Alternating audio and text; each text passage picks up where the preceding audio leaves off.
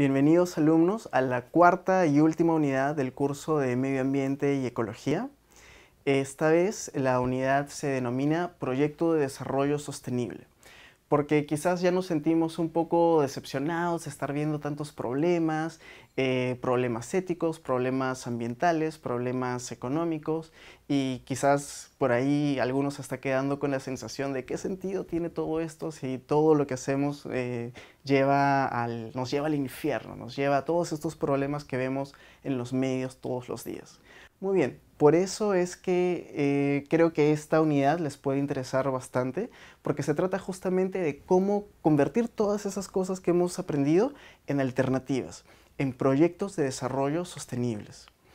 Y esos proyectos de desarrollo sostenible tienen un nombre, que son una tendencia que es cada vez más clara, más presente en, en el Perú.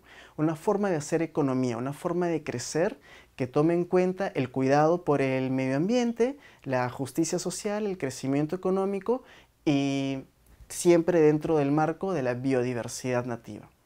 Lo que acabo de decir es la definición de un econegocio. Entonces voy a resumir. ¿Qué es lo que distingue un econegocio de un negocio común y corriente?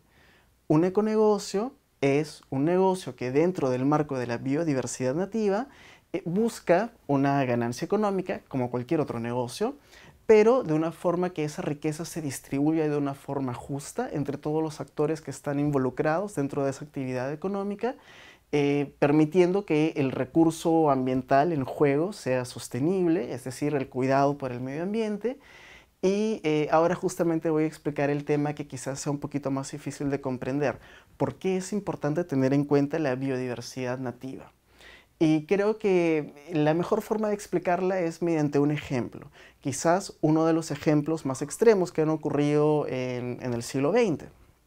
Eh, que ocurrió, ahora sí, no me gusta poner ejemplos en el extranjero, porque en el Perú siempre encontramos muy buenos ejemplos, pero hubo un caso mucho más extremo en Australia. En Australia, a inicios del siglo XX, em, llegaron muchos inmigrantes de, de Inglaterra, habían millones y millones de hectáreas de pastizales.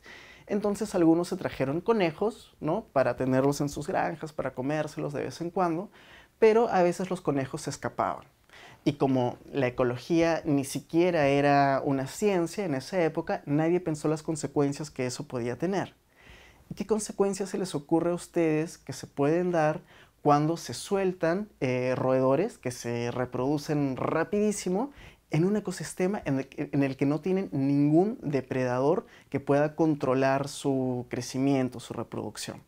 Efectivamente, los conejos se convirtieron en una plaga, una plaga que devoró con millones de hectáreas de pastizales en toda Australia, convirtió a Australia en el desierto enorme que hasta ahora es y colocó al país al borde de la quiebra. De hecho, creo que hasta el primer ministro tuvo que renunciar a inicios del siglo XX eh, porque no se sabía cómo lidiar con la crisis. Entonces, el no tener en cuenta el factor eh, nativo dentro del recurso ambiental con el que nosotros queremos eh, recrear una actividad económica nos puede llevar al colapso, nos puede llevar, o sea, no estoy exagerando, como ustedes lo pueden ver, nos puede llevar al apocalipsis. Em, ahora, vamos a tocar ejemplos eh, que se conectan mucho mejor con nuestra realidad, porque en el Perú también encontramos ese tipo de ejemplos y estamos tan acostumbrados que no nos damos cuenta. Em, entonces, uno de los secretos de, esta condición está en los dientes de las vacas, exactamente, los dientes de las vacas. Porque los dientes de las vacas se parecen a nuestras muelas. Entonces ellas no pueden cortar el pasto, sino lo arrancan. Y por eso las vacas que están en la sierra tienden a arrancar el pasto. Esto produce erosión del suelo, esto produce huaicos y además las vacas de la sierra, como están en un suelo muy irregular y en condiciones climáticas que no son las de ellas, eh, se termina produciendo una leche y una carne en cantidades y en calidades que no son competitivas en el mercado internacional. Sin embargo, si lo comparamos con las condiciones que nos ofrecen los auquénidos, para empezar, encontramos que los dientes de las llamas se parecen a nuestros incisivos. Las llamas efectivamente pueden cortar el pasto, siempre dejan un poco de pasto sobre el suelo, evitando así la erosión, permitiendo que se pueda mantener un suelo fértil y estable en, la sierra. Em, las llamas, las alpacas y las vicuñas evidentemente están muchísimo más acostumbradas al tipo de clima y todas las condiciones geográficas que nosotros tenemos en la sierra. Y encima, la carne de los auquénidos es mucho más rica en proteínas y mucho más baja en grasas que la de, que la de los vacunos. Por lo tanto, si nosotros el día de mañana decidiéramos eh, reemplazar todo nuestro consumo de vacuno por el de auquénidos, eh, muy diferentes serían las condiciones medioambientales y económicas en la Sierra del Perú e incluso nosotros también estaríamos mucho mejor alimentados. Otro ejemplo interesante se puede eh, dar con el eucalipto, el árbol eh, quizás más presente en la Sierra del Perú. Eh, desde que llegaron los españoles, una cosa que les sorprendió mucho hace 500 años era que no había árboles en la sierra. Bueno, y hasta ahora hay, hay pero muy pocos, ¿no? Y lo que más encontramos es justamente el eucalipto, porque es un árbol que crece rapidísimo y por lo tanto provee madera rápido a, los campesinos de la sierra. El problema es que primero que es una madera de muy mala calidad y segundo que el eucalipto eh, segrega una hormona que inhibe el crecimiento de otras especies. A esta condición se le llama alelopatía y por lo tanto no encontramos la variedad de árboles nativos alrededor de cultivos de eucalipto que encontramos sobre todo en suelos más altos. ¿no? Por ejemplo, encontramos bosques de quenuales, sobre todo en la puna, donde los agricultores no se han dedicado tanto a reemplazar los árboles nativos por el eucalipto.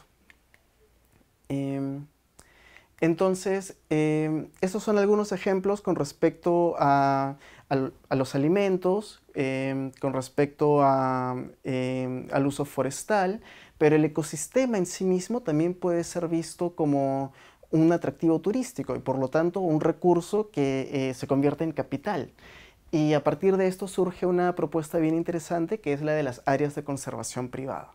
Entonces, el Estado no tiene por qué tener el monopolio de las áreas de conservación nacionales, como el Pacaya Samiria, como eh, la Reserva de Paracas que vimos en la unidad anterior.